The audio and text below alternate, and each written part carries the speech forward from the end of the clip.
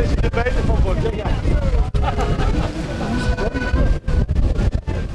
Het is heel belangrijk dat we altijd bij stil blijven staan dat Nederland een bijzonder land is. Waarbij 60% van ons land overstroomd kan worden. Dat is hier gebeurd in 1916 in dit gebied, in een groot gebied.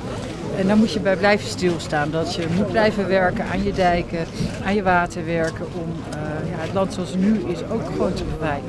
Dus we hebben er veel van geleerd. We hebben er heel veel van geleerd. En na aanleiding van die grote ramp in 1916 is natuurlijk ook de afsluitdijk uh, gerealiseerd.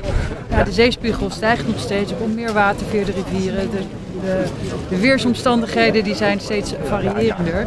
Um, en deze bank die herdenkt de slachtoffers, maar die kijkt ook vooruit over het water. We moeten gewoon bewust blijven van het feit dat wij kwetsbaar zijn. Ik ga jullie meenemen, Eva.